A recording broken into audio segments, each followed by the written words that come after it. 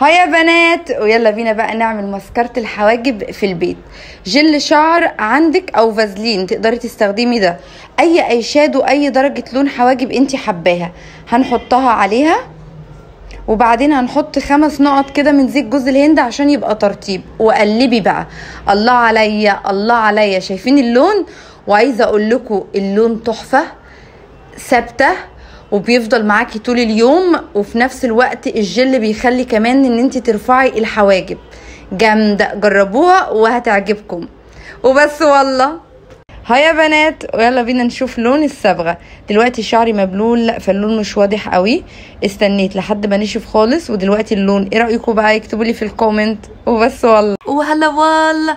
بصوا يا بنات أنا كان عندي علبة bronzer وطبعا خلصت بس في في الجوانب فاضل وأنا مش عارفة أستخدمها وأستفاد بيها. وطبعا عشان هي غالية أنا مش هرمي حاجة غير لما أحللها كويس جدا.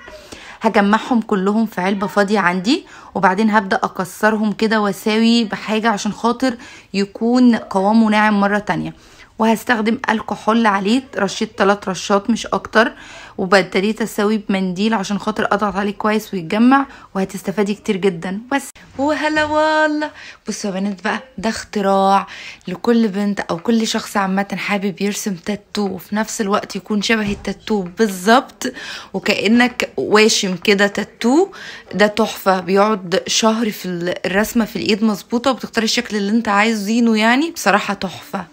اسم الحنة إيه لو سمحت؟ بصي هو ده مش حنة أصلا خالص.